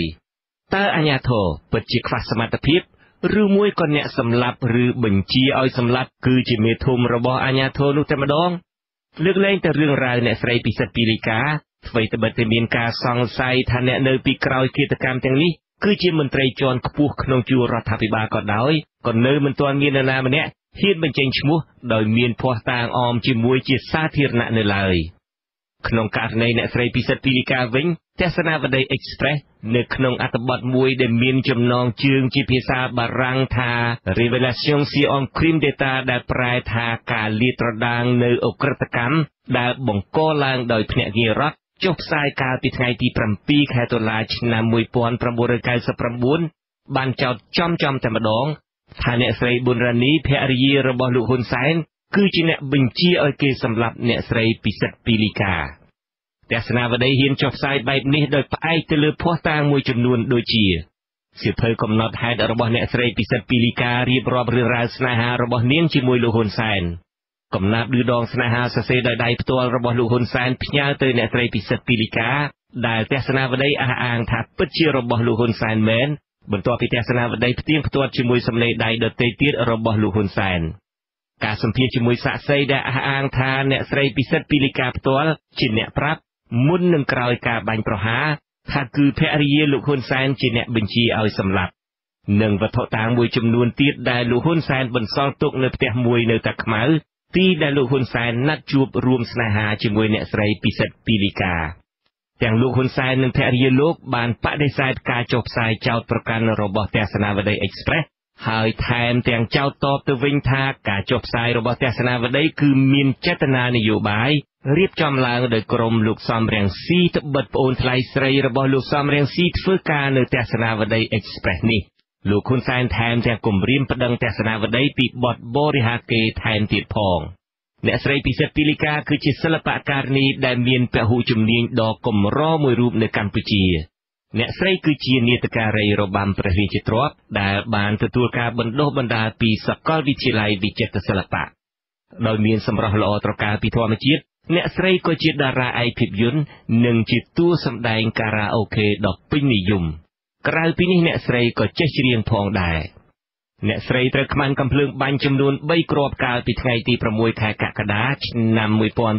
1999នៅម្ដុំផ្សារឧរុស័យគ្រាដែលអ្នកស្រីកំពុងឈររកទិញកង់ជាមួយក្មួយស្រីអាយុ7ឆ្នាំម្នាក់នៅក្នុងសិភៅកំណត់ហេតុដែលគេអះអាងថាជាស្នាដៃរបស់អ្នកស្រីពិសិដ្ឋពីលីកាសរសេរយ៉ាងលម្អិតរៀបរាប់ពីស្នេហាក្រៅអាពាហ៍ពិពាហ៍របស់នាង និងលោកហ៊ុនសែននិងពីការបែកបាក់ពីលោកហ៊ុនសែនវិញ ព្រមទាំងពីការគំរាមដល់ជីវិតពីសំណាក់លោកស្រីប៊ុនរ៉ានីហ៊ុនសែនតាមការលួចឲ្យដឹងពីលោកហុកឡងឌីផងយោងតាមសិភៅកំណត់ហេតុនោះអ្នកស្រីពិសិដ្ឋពីលីកាសរសេរថាកាលពីថ្ងៃទី11ខែមេសាឆ្នាំ1999វេលាម៉ោង3រសៀលលោកហ៊ុនសែនទូរស័ព្ទប្រាប់នាងថាប្រពន្ធលោកហាមមិនឲ្យតាក់ទងជាមួយនាងទៀតឡើយនិងថាឲ្យបដិសេធរាល់រឿងរ៉ាវដែលកើតឡើង បន្ទាប់ពីបានទទួលទូរស័ព្ទផ្ដាច់ស្នេហ៍នេះមក អ្នកស្រីពិសិដ្ឋពីលេខាក្រំគ្រាបេះដូងហើយបង្ហាញពីការឈឺចាប់របស់នាង តាមការសរសេរក្នុងសៀវភៅកំណត់ហេតុជារៀងរាល់ថ្ងៃខ្ញុំតែងទន្ទឹងចាំទូរស័ព្ទស្ទើរបែកខ្លាំងប្រមាត់ខ្ញុំកាត់ចិត្តមិនដាច់សោះខ្ញុំតែងអង្គុយសញ្ជប់សញ្ជឹងគិត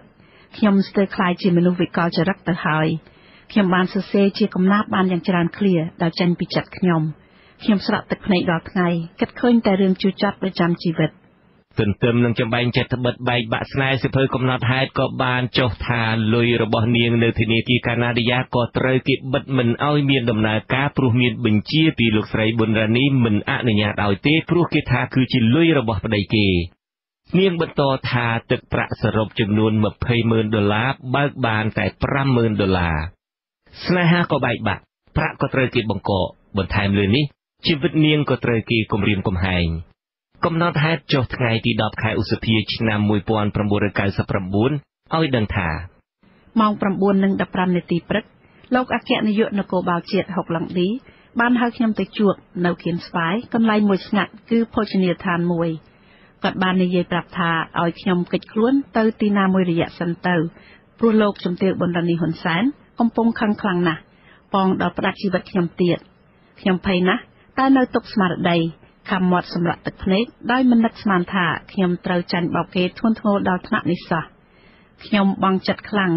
ព្រោះពុំបានលក់ខ្លួនជាមួយសម្ដេចហ៊ុនសែនទេ គឺស្រឡាញ់គ្នាដូចប្តីប្រពន្ធតែខ្ញុំល្ងងពេកហើយដែលជឿសម្ដីគេព្រោះខ្ញុំពុំដែលចាញ់បោកអ្នកណាម្នាក់សោះនេះជាមេរៀនទី1ដែលធ្វើឲ្យខ្ញុំបានស្គាល់លើមនុស្សអស់សំនួនដែរខ្ញុំគិតថាមិនដឹងជាគេទុកឲ្យខ្ញុំរស់ឬក៏ឲ្យស្លាប់ទេ ព្រោះផែនដីនេះគេជាអ្នកគ្រប់គ្រងខ្ញុំមានតែព្រះនឹងធ្វើបន់ដើម្បីសងទៅគេទប់ទល់ជាមួយគេតែប៉ុណ្ណោះពីខែក្រោយមកគឺនៅថ្ងៃទី6ខែកក្កដាអ្នកស្រីពិសិដ្ឋពីរិកាក្នុងវ័យ34ឆ្នាំត្រូវគេបាញ់ចំ3គ្រាប់មួយគ្រាប់ធ្លាយពីខ្នងទៅពោះពីរគ្រាប់ទៀតបៀមជាប់នៅខ្នងអ្នកស្រីត្រូវបងប្អូនដឹកទៅព្យាបាលនៅមន្ទីរពេទ្យកាឡាម៉ែតជាបន្ទាន់ គឺនៅតាមផ្លូវពីកន្លែងកើតហេតុទៅមន្ទីរពេទ្យនេះហើយដែលក្មួយស្រីរបស់អ្នកស្រីដែលរងរបួសដៃហើយដែលគេងទន្ទឹមនឹងអ្នកស្រីក្នុងរថយន្តដែរនោះអះអាងប្រាប់ទស្សនាវដ្តី Express ថាអ្នកស្រីពិសិដ្ឋពីលីកាខំត្រដរប្រាប់នាងថាគឺលោកស្រីប៊ុនរ៉ានីហ៊ុនសែនជាអ្នកទទួលខុសត្រូវក្នុងការបាញ់ប្រហារនេះការរៀបរាប់របស់ក្មួយស្រីអ្នកស្រីពិសិដ្ឋពីលីកាឈ្មោះសារ៉ែនសេរីមានស៊ីសង្វាក់គ្នាទៅនឹងការអះអាងរបស់លោកហេងពៅអតីតស្នងការនគរបាលរាជធានីភ្នំពេញ នៅក្នុងបទសម្ភាសន៍ដោយឡែកមួយទៀតជាមួយទស្សនាវដ្តី Express លោកហេងពៅបញ្ជាក់ថារឿងរ៉ាវអំពីលោកជំទាវប៊ុនរ៉ានីជាអ្នកបញ្ជាឲ្យគេបាញ់សម្លាប់អ្នកស្រីពិសិដ្ឋពីរិកាគឺជារឿងពិតលោកហេងពៅប្រាប់ទស្សនាវដ្តី Express ថាក្នុងនាមជាអ្នកទទួលខុសត្រូវក្នុងការស្រាវជ្រាវអ ுக ្រិតកម្មកម្រិតធ្ងន់លោករកឃើញថាដំបូងឡើយលោកហុកឡងឌីមានទំនាក់ទំនងជាមួយអ្នកស្រីពិសិដ្ឋពីរិកាបន្ទាប់មកលោកហុកឡងឌីក៏ណែនាំអ្នកស្រីពិសិដ្ឋពីរិកាទៅលោកហ៊ុនសែន លោកហេងពៅប្រាប់ទស្សនាវដ្តី Express បន្តថាពេលរឿងនេះលេចលឺដល់លោកស្រីប៊ុនរ៉ានីហ៊ុនសែនលោកស្រីខឹងជាខ្លាំងលោកខុកឡង់ឌីក៏សន្យានឹងលោកស្រីប៊ុនរ៉ានីថាខ្លួននឹងបំបែកអ្នកស្រីពិសិដ្ឋពីលីកាពីលោកហ៊ុនសែនវិញឲ្យបានលោកហេងពៅផ្ដល់បទសម្ភាសទៅឲ្យទស្សនាវដ្តី Express នេះកាលពីខែសីហាឆ្នាំ2006គ្រាដែលលោកត្រូវគេដកតំណែងពេលនេះលោកហេងពៅកំពុងជាប់ឃុំឃាំងនៅពន្ធនាគារព្រៃសរ រាល់ពេលដែលទស្សនាវដ្តី Express ចុះផ្សាយរឿងរ៉ាវតាក់ទងទៅនឹងការបាញ់សម្លាប់អ្នកស្រីពិសិដ្ឋពីលីកាមន្ត្រីដែលស្និទ្ធនឹងគ្រួសារលោកហ៊ុនសែនតែងគំរាមប្តឹងជានិច្ចក៏ប៉ុន្តែរហូតមកទល់ពេលនេះលោកហ៊ុនសែននិងភរិយារបស់លោកមិនត្រូវបានគេដឹងថាបានដាក់ពាក្យប្តឹងទស្សនាវដ្តីនោះឡើយ ខាងទស្សនាវដ្តី Express វិញក៏នៅតែប្រកាន់ជំហរមិនងាករាយចំពោះអត្ថបទរបស់ខ្លួនហើយអះអាងថាខាងទស្សនាវដ្តីមានសម្ភារៈប្រើប្រាស់ផ្ទាល់ខ្លួនរបស់លោកហ៊ុនសែនមួយចំនួនដែលជាភស្តុតាងផ្សារភ្ជាប់លោកហ៊ុនសែនទៅនឹងស្នេហាលួចលាក់របស់លោកនិងអ្នកស្រីពិសិដ្ឋពីលីកាថែមទៀតផង។ទោះបីជា19ឆ្នាំបានកន្លងផុតទៅ ហើយយុត្តិធម៌សម្រាប់អ្នកស្រីពិសិដ្ឋពីលីកានៅមិនទាន់មានពន្លឺអ្នកដែលដឹងរឿងរ៉ាវពិតភាគច្រើននៅមានជីវិតនៅឡើយក្នុងចំណោមនោះអ្នកខ្លះត្រូវជាប់ឃុំឃាំង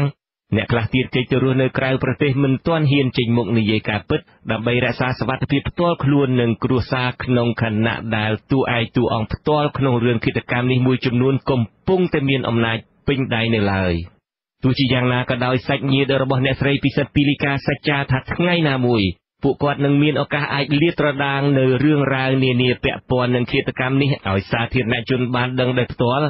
ដើម្បីផ្ដល់យុត្តិធម៌ជូនអ្នកស្រីពិសិដ្ឋពីលីកាខ្ញុំជុនច័ន្ទបុតអាស៊ីសេរី Washington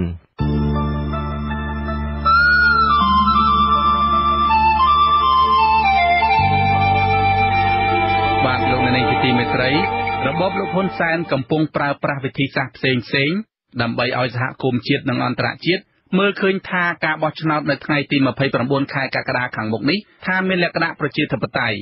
ប៉ុន្តែអ្នកជំនាញបរទេសដែលតាមដាននយោបាយនៅកម្ពុជាវាតម្លៃរួចជាស្រេចទៅហើយថាពុំមានហេតុផលណាមួយអាចឲ្យពួកគេចាត់ទុកការបោះឆ្នោតជ្រើសតាំងតំណាងរាស្ត្រនៅអាណត្តិទី6នេះថាអាចយកជាការបានឡើយ។បាទពីរដ្ឋធានី Washington អ្នកស្រីម៉ៅសុធីនី មានសេចក្តីរាយការណ៍ពីរឿងនេះដូចតទៅ អស់ពេល5អាណត្តិមកហើយដែលប្រជាប្រដ្ឋកម្ពុជាមានសិទ្ធិបោះឆ្នោតជ្រើសតាំងតំណាងរាស្ត្រចាទោះបីការបោះឆ្នោតអាណត្តិមុនមុនតែងតែរងការរិះគន់ថាมันមានភាពសេរីត្រឹមត្រូវនិងយុត្តិធម៌ពេញលេញក៏ដោយក៏យ៉ាងហោចណាស់ម្ចាស់ឆ្នោតដែលមិនចង់ទៅបោះឆ្នោតគឺគ្មានអ្នកធ្វើទុកបុកម្នេញដែរ ចំណែកឯការបោះឆ្នោតអាណត្តិទី6នេះវិញអ្វីដែលប្លែកនោះគឺអ្នកណាដែលមិនទៅបោះឆ្នោតត្រូវប្រឈមនឹងការគំរាមកំហែងបំផិតបំភ័យជាបរដ្ឋខ្លះថែមទាំងលើកឡើងថាពួកគេនឹងត្រូវបានចាត់ទុកថាជាជនក្បត់ជាតិទៀតផងបើសិនបើមិនទៅបោះឆ្នោត ចានេះមកតាមការលើកឡើងរបស់អ្នកឆ្លងឆ្លើយព័ត៌មានប្រចាំនៅកម្ពុជា គឺកញ្ញា Julia Wallace ដែលធ្លាប់ជានិពន្ធនិយមនៃកាសែត The Cambodia Daily ហើយបច្ចុប្បន្នជាអ្នកគ្រប់គ្រងការផ្សាយរបស់វិទ្យុសំឡេងសហរដ្ឋអាមេរិក VOA នៅកម្ពុជា ដែលបានលើកឡើងក្នុងវេទិកាពិភាក្សាមួយស្ដីពីការបោះឆ្នោតនៅកម្ពុជា ហើយដែលរៀបចំដោយក្លឹបអ្នកឆ្លងឆ្លើយព័ត៌មានបរទេសនៃប្រទេសថៃ កាលពីថ្ងៃទី11ខែកក្កដាអ្នកសារព័ត៌មានបរទេសរូបនេះបានលើកឡើងថាចាប់តាំងពីបានចាប់ដើមបម្រើការងារជាអ្នករាយការណ៍ព័ត៌មានអំពីកម្ពុជា ចាប់ពីឆ្នាំ2009មកកញ្ញាមិនដែលឃើញប្រជាប្រដ្ឋកម្ពុជាដែលនាងសុំសម្ភារភ័យខ្លាចខ្លាំងក្នុងការបញ្ចេញមតិដូចជាពេលនេះទេ Probably the worst that I've seen it since I arrived in Cambodia for the first time in 2009. ស្ថានភាពនៅពេលបច្ចុប្បន្នហាក់ដូចជាអាក្រក់បំផុតចាប់តាំងពីខ្ញុំបានទៅធ្វើការជាអ្នកយកព័ត៌មាននៅកម្ពុជាដំបូងពីឆ្នាំ2009មកពលរដ្ឋប្រែជាភ័យខ្លាចទាំងស្រុងតែម្ដងកាលពីមុនខ្ញុំតែងតែមានអារម្មណ៍ល្អចំពោះបរិយាកាសសារព័ត៌មាននៅកម្ពុជាដោយសារតែកាលនោះមិនដែលមាននរណាម្នាក់បដិសេធផ្ដល់សម្ភារដល់ខ្ញុំទេពលរដ្ឋកាលនោះយល់ច្បាស់ថាពួកគាត់មានជំនឿយ៉ាងមុតមមថាពួកគាត់មានសិទ្ធិនិយាយជាមួយអ្នកសារព័ត៌មាន មានសិទ្ធិបញ្ចេញមតិតែក្នុងបរិយាកាសនយោបាយបច្ចុប្បន្នវិញ នៅពេលខ្ញុំសម្ភាសពលរដ្ឋរឿងនយោបាយម្ដងម្ដងដោយចង់យកសម្លេងគាត់មកចុះផ្សាយនិងបង្ហាញឈ្មោះពេញរបស់គាត់ជាចំហនោះគ្មានពលរដ្ឋណាហ៊ាននិយាយនោះទេ ដែលនេះជាសភាពគួរឲ្យយើងពិបាកចិត្តណាស់ព្រោះមិនដែលអីចឹងទេពីមុនមកដូច្នេះខ្ញុំចង់និយាយថាមានការបំផិតបំភ័យពលរដ្ឋយ៉ាងខ្លាំងក្នុងពេលបោះឆ្នោតនេះ មានការដាក់សម្ពាធយ៉ាងខ្លាំងឲ្យពលរដ្ឋចេញទៅបោះឆ្នោតកញ្ញា Julia Wallace ក៏សម្គាល់ឃើញថាបរដ្ឋតាមមូលដ្ឋាន មានការផិតភ័យយ៉ាងខ្លាំងនៅក្នុងការបោះឆ្នោតឆ្នាំ2018នេះពីព្រោះថាអាញាធរមូលដ្ឋានបានដាក់សម្ពាធឲ្យពួកគាត់ថាត្រូវតែចេញទៅបោះឆ្នោត You know, we've had some comments that if they don't have the ink on their finger, they'll be considered traitors. មានអ្នកខ្លះប្រាប់ខ្ញុំថាប្រសិនបើម្រាមដៃចង្អុលរបស់ពួកគាត់មិនមានប្រឡាក់ទឹកឆ្នាំបោះឆ្នោតទេ ពួកគេនឹងត្រូវគេចាត់ទុកថាជាជនក្បត់ជាតិដែលនេះគួរឲ្យភ័យខ្លាចមែនទែនពលរដ្ឋជាច្រើនបានសួរខ្ញុំនិងអ្នកកសែតដទៃទៀតថាតើពួកគេមានសិទ្ធិបន្ទៅបោះឆ្នោតទេតើពួកគាត់ត្រូវទៅទៅបោះឆ្នោតជាដាច់ខាតឬយ៉ាងណា ចាជុំវិញការបំផិតបំភ័យដល់បរដ្ឋនេះលោកសំរងស៊ីមេដឹកនាំចលនាសង្គមជាតិបានអំពាវនាវតាមបណ្ដាញសង្គម Facebook ដល់ប្រជាពលរដ្ឋដែលត្រូវបង្ខំចិត្តទៅបោះឆ្នោតដោយសារតែរងការគំរាមកំហែងដល់អាយុជីវិតនោះឲ្យគូសបំផ្លាញសិលឹកឆ្នោតចោលដើម្បីបង្ហាញថាពួកគេមិនទទួលស្គាល់ការបោះឆ្នោតក៏ប៉ុន្តែគណៈបព្វប្រឆាំងនិងអ្នកតាមដានស្ថានភាពនយោបាយនៅកម្ពុជាយល់ឃើញថា នៅពេលដែលបរដ្ឋចេញទៅបោះឆ្នោតមានចំនួនច្រើននោះនឹងកាន់តែធ្វើឲ្យលោកហ៊ុនសែនមានលេសទៀមទាភាពស្របច្បាប់នៃការបោះឆ្នោតប្រធានវិទ្យាស្ថានសម្រាប់ការសិក្សាអន្តរជាតិនិងសន្តិសុខនៃសាកលវិទ្យាល័យจุฬាលង្កូនក្នុងប្រទេសថៃនិងជាអ្នកអត្ថាធិប្បាយកិច្ចការតំបន់អាស៊ីអាគ្នេយ៍គឺលោកថេពទីណានពងសុធារៈបានថ្លែងនៅក្នុងវេទិកាពិភាក្សាស្ដីពីការបោះឆ្នោតនៅកម្ពុជានេះថា តាមរយៈវិធីសាស្ត្រគៀបសង្កត់ប្រជាប្រដ្ឋនិងការទិញសន្លឹកឆ្នោត អត្រាអ្នកចេញទៅបោះឆ្នោតនៅថ្ងៃទី29ខែកក្កដាខាងមុខអាចនៅតែលើសពី50%ក៏ប៉ុន្តែលោកថាទោះជាប៉ុន្មានភាគរយក៏ដោយក៏អាចឲ្យលោកហ៊ុនសែន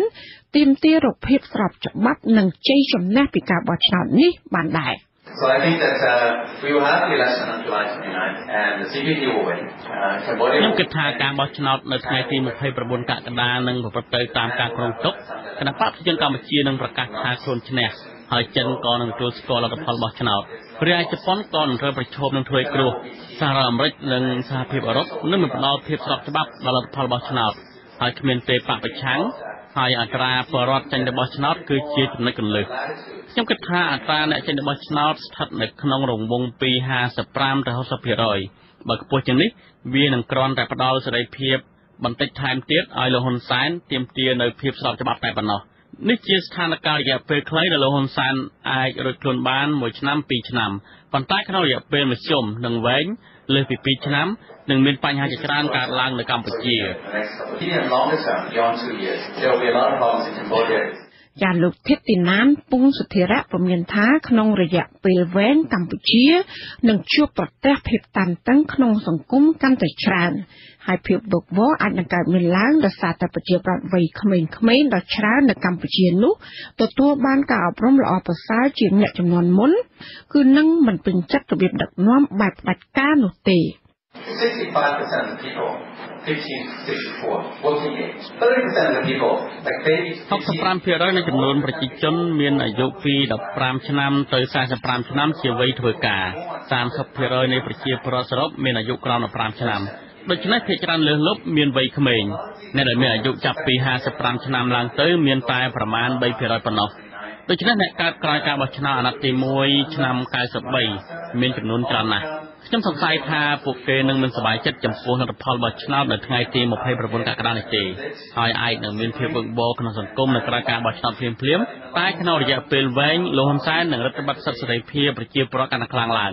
ដែលធ្វើឲ្យប្រជាពលរដ្ឋខឹងសម្បាហើយចិនក៏នឹងជួយពីក្រោយតែយូរយូរទៅវានឹងនាំទៅរកបញ្ហាហើយនៅទីបំផុតមហិច្ឆតាផ្ទេរអំណាចដល់កូនរបស់លោកហ៊ុនសែននឹងត្រូវរលាយតែម្ដង ambition is going to be undermined ជុំវិញការផ្ទេរអំណាចពីឪពុកទៅកូននេះអ្នកនិពន្ធសិភៅកម្ពុជារបស់លោកហ៊ុនសែននិងជាអ្នករាយការណ៍ព័ត៌មានអំពីកម្ពុជាលោក Sebastian Sangio សង្កេតឃើញថាលោកហ៊ុនសែនកំពុងរៀបចំផ្ទេរអំណាចដល់កូនរបស់លោកជាបណ្ដាបណ្ដាហើយ Hun Sen's eldest son, Hun Manet, is being ready to take over eventually. And you, you'll see new military promotions just the other day. បាទកូនច្បងរបស់លោកហ៊ុនសែនគឺលោកហ៊ុនម៉ាណែតគឺកំពុងតែឈ្មោះទៅរកការស្នងតំណែងតពីឪពុករបស់លោកហើយជាក់ស្ដែងលោកហ៊ុនម៉ាណែតខ្លួនឯងត្រូវបានតម្លើងឋានន្តរស័ក្តិយោធាកាលពីប្រមាណថ្ងៃមុននេះកូនប្រុសទាំង3របស់លោកហ៊ុនសែនហ្នឹងគឺមានតួនាទីនៅវិស័យផ្សេងៗគ្នាហ៊ុនម៉ាណែតគឺនៅខាងផ្នែកយោធា រីឯហ៊ុនម៉ាណីវិញគឺនៅខាងផ្នែកនយោបាយហើយបច្ចុប្បន្នក៏ជាតំណាងរាស្ត្រនៅក្នុងរដ្ឋសភាចំណែកឯហ៊ុនម៉ាណិតវិញគឺនៅខាងផ្នែកចារកិច្ចឯណោះដូច្នេះវាហាក់បីដូចជាច្បាស់ហើយថាលោកហ៊ុនសែននេះទំនងនឹងចាប់យករបៀបផ្ទេរអំណាចពីពុកតដល់កូនហើយ Dynasties, political dynasties in Cambodia is very well established, so it seems clear that this is the path that Hun Sen is likely to go down. ចាបន្ថែមពីនេះចាប់តាំងពីលោកហ៊ុនសែនបានកាន់អំណាចជាង3ទសវត្សរ៍មកនេះរបបរបស់លោកបានធ្វើវិសតនកម្មនិងបង្កើតច្បាប់ថ្មីថ្មីមួយចំនួនដែលរងការរិះគន់ពីអ្នកការពារសិទ្ធិមនុស្សថាមានលក្ខណៈរដ្ឋបិទដល់សិទ្ធិសេរីភាពរបស់ប្រជាពលរដ្ឋសង្គមស៊ីវិលសារព័ត៌មានឯករាជ្យហើយនិងគណៈបកប្រឆាំង។ ទីប្រឹក្សាជាន់ខ្ពស់ផ្នែកច្បាប់នៃគណៈកម្មការអ្នកច្បាប់អន្តរជាតិហៅកាត់ថា ICJ គឺលោក Kingsley Abbott ក៏បានលើកឡើងដែរថាលោកហ៊ុនសែនបានចាប់ផ្ដើមកែប្រែមូលដ្ឋានច្បាប់នៅប្រទេសកម្ពុជាជាបន្តបន្ទាប់ដោយចាក់ឆ្ងាយពីគោលការណ៍លទ្ធិប្រជាធិបតេយ្យដែលមានចែងក្នុងរដ្ឋធម្មនុញ្ញដែលជាច្បាប់កម្ពុជារបស់ប្រទេស។ ដោយសារតែមូលហេតុនេះហើយលោកអាត់បុតបានវាយតម្លៃថាការបោះឆ្នោតនៅកម្ពុជា គឺมันអាចចាត់ទុកថាសេរីត្រឹមត្រូវជាដាច់ខាតពីព្រោះថាដើម្បីវាយតម្លៃថាតើការបោះឆ្នោតខាងមុខមានភាពសេរីត្រឹមត្រូវឬទេ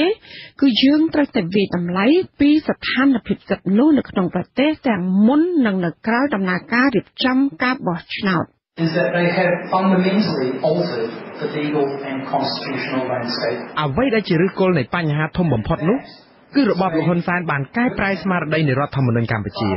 បញ្ហាកែប្រែរដ្ឋធម្មនុញ្ញនេះវាជះឥទ្ធិពលអាក្រក់មិនត្រឹមតែការបោះឆ្នោតដែលគ្រោងនឹងធ្វើនៅប្រមាណសប្តាហ៍ខាងមុខនេះប៉ុណ្ណោះទេគឺវាមានផលវិបាកយូរអង្វែងជាងនេះឆ្ងាយណាស់ បើនិយាយពីការបោះឆ្នោតខាងមុខនេះឲ្យតែពេលខ្ញុំជជែកជាមួយមនុស្សណាក៏ដោយគឺខ្ញុំតែងតែប្រាប់ពួកគាត់ថាការបោះឆ្នោតនឹងគឺជាការបោះឆ្នោតដែលគ្មានការចាប់អារម្មណ៍តទៅសោះខ្ញុំប្រាប់ពួកគាត់កុំឲ្យយកចិត្តទុកដាក់ឬក៏តាមដានការបោះឆ្នោតបែបនេះធ្វើអីព្រោះអីដំណើរការបោះឆ្នោតនេះបានប្រព្រឹត្តប្រឆាចចេញឆ្ងាយខ្លាំងណាស់ទៅហើយ ពីគោលការណ៍ដែលមានចែងនៅក្នុងកិច្ចព្រមព្រៀងសន្តិភាពទីក្រុងប៉ារីសឆ្នាំ1991កិច្ចព្រមព្រៀងនោះគឺចងកាតព្វកិច្ចកម្ពុជាឲ្យប្រកាន់ខ្លួនទៅជាប្រទេសប្រជាធិបតេយ្យដោយគោរពសិទ្ធិមនុស្សនិងនីតិរដ្ឋប៉ុន្តែរបបលោកហ៊ុនសែនបានបង្ហាញឲ្យឃើញច្បាស់ណាស់ថារបបនេះបានដើរតាមគន្លងវិថីនៃអំណាចប្រជាធិបតេយ្យ ចាអ្នកជំនាញផ្នែកច្បាប់សិទ្ធិមនុស្សរូបនេះយល់ថាការដាក់ទណ្ឌកម្មលើបុគ្គលកម្ពុជាកម្ពុជាដែលរំលោភសិទ្ធិមនុស្សដូចជាករណីសហរដ្ឋអាមេរិកសម្រាប់បង្កកទ្រព្យសម្បត្តិមេបញ្ជាការកងអង្គរៈរបស់លោកហ៊ុនសែនគឺលោកហ៊ីនប៊ុនហៀងកាលពីពេលថ្មីថ្មីនេះគឺជាជំរើសដែលសហគមន៍អន្តរជាតិគួរធ្វើដើម្បីដាក់សម្ពាធដល់របបលោកហ៊ុនសែនចា៎នាងខ្ញុំម៉ៅសុធានីអធិស្រីពីរដ្ឋធានី Washington